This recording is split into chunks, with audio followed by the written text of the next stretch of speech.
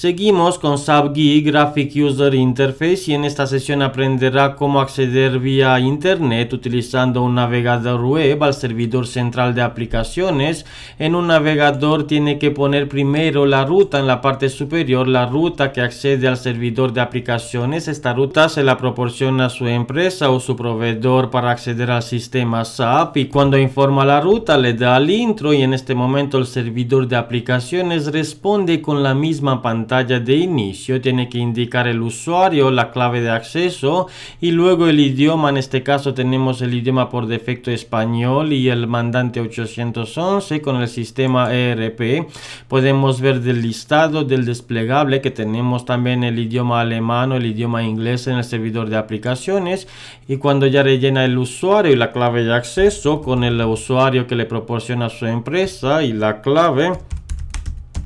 puede acceder al servidor de aplicaciones y dentro del servidor de aplicaciones hay transacciones, casi todas las transacciones están habilitadas para ser ejecutadas en el navegador y en este caso podemos ver el menú, estamos dentro del sistema SAP en la primera pantalla SAP Access donde podemos acceder al menú, al puesto de trabajo, a las transacciones que tenemos permisos dependiendo del rol asignado para nuestro usuario.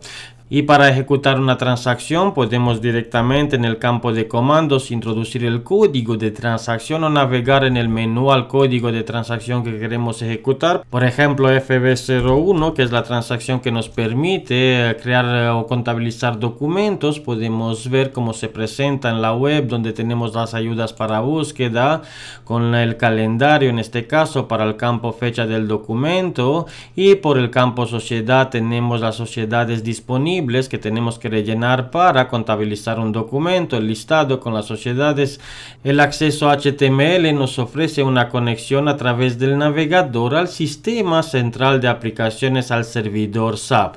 Para salir o cerrar la conexión tenemos que utilizar el menú en sistema, salir del sistema, la opción o log off en inglés y con esto ya salimos confirmando desea salir del sistema y luego cerramos la ventana del navegador. Y terminamos aquí esta sesión donde he aprendido cómo conectar a un sistema SAP a través del acceso HTML vía internet.